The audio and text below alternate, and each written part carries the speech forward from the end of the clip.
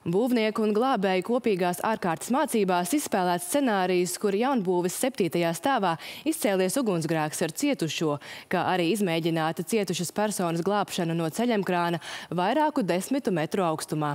Kādi secinājumi pēc mācībām plašāk Artūrs Oļševskis.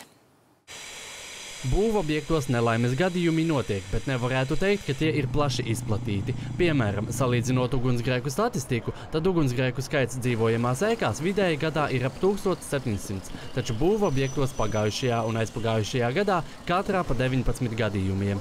Šodien mācībās krasta kvartālā Grēdu ielā tika izspēlēta būvuzņēmuma gatavība reaģēt krīzes situācijās un testētas arī glābēju prasmes šādos apstākļos kas ir liels sarežģījums pašos būvobjektos, tas, ka apkārt ļoti daudz būvmateriāla atrodas, viss ir diezgan haotiski izmētāts.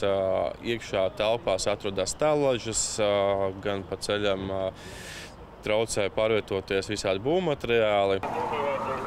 Tika izspēlēti divi scenāriji. Ugunsgrēks jaunbūves 7. stāvā ar cietušu personu un samaņu zaudējis darbinieks ceļamkrānā. Darbinieki, kas tobrīd objektā pildīja savus pienākumus, iepriekš par mācībām brīdināti netika.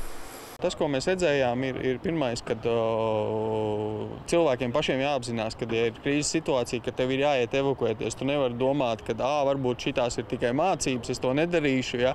O, nu, tā, tā, tā attieksme pret to visu, ja? jo, jo, jo nekad tu nevari zināt, vai šīs ir mācības vai tā ir reālā situācija. Būvniecības darbinieku vidū tika pārbaudītas savstarpējās komunikācijas spējas, kā viņi apmainās ar informāciju, kā pārbauda, vai visi cilvēki ir evakuēti un kā pilda krīzes plānu.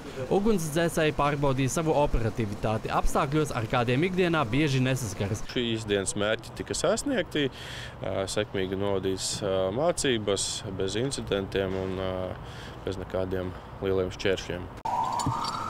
Tāpat kā glābšanas dienas, tā arī uzņēmumā mācības vērtē pozitīvi, jo ir atklātas vietas uzlabojumiem darba drošībā, konkrēti evakuācijā.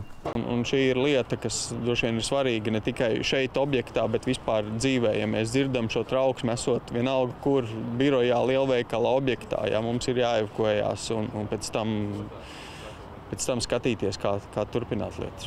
Pēc mācību secinājumu izvērtēšanas drošības plāns tiks pilnveidots. Artūrs Oļševskis, Māris Jurgensons, Krišjānis Leitis, Latvijas televīzija.